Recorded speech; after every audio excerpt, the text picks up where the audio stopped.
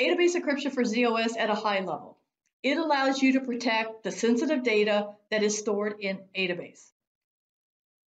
The data that's stored in Adabas is done at the data set level, right? The data storage data set contains the raw data. That's my employee file records, right? Becky Albin lives in Reston, Virginia. Uh, she started in September of 1987. kind of giving that away. Uh, but anyway, the actual raw data resides on the data storage data set.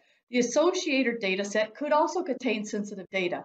Any of those fields within a file that you've encrypted that's flagged as a descriptor or a key, that value, that sensitive data value is also stored in our index structures in the associator.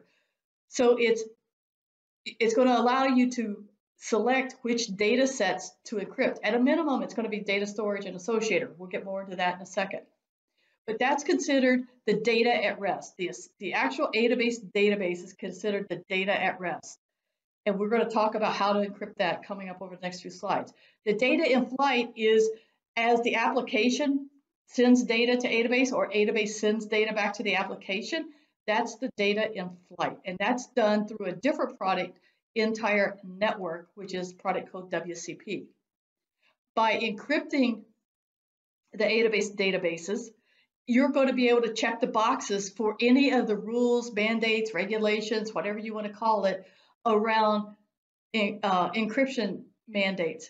SOX, Sarbanes-Oxley for publicly traded companies, HIPAA for your health data, PCI for personal credit or personal information, you know, names, bank account numbers, credit card numbers, whatever. One of the bigger ones is GDPR from the European Union. It's also being used by a lot of places here in the US as well.